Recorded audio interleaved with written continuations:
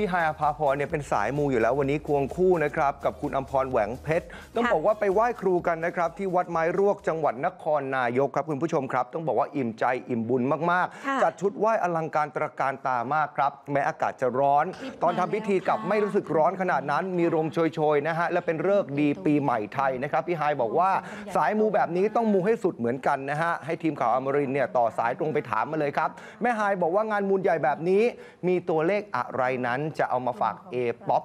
ที่เดียวเลย ค่ะ ต้องบอกว่าเดี๋ยวต้องรอดูกันนะฮะ ต้องบอกว่าใช้วิจารณญาณในการรับชมด้วยนะครับ ค่ะ สาธุนะคะนำบุญมาฝากแฟนๆด้วยค่ะ ดูสิเจ็ดนะคะ ห้าหนึ่งอ่าอ่าอ่าอ่าอันนี้ให้โคดูเองไงบางทีไม่อยากเผื่ทักอ๋อเดี๋ยวเดี๋ยวมันมันเดี๋แบยวบมันวิ่ว่างมันวิ่ง มันวิ่งแล้วก็เออเออแล้แล้ววก็มีแต่ว่า80เห็นอะไรด้วยก็แล้วแต่ละคนอย่างนี้เนาะครับเออผม นะคะ ขอบคุณมากๆเลยค่ะนำบุญมาฝากแฟนๆด้วย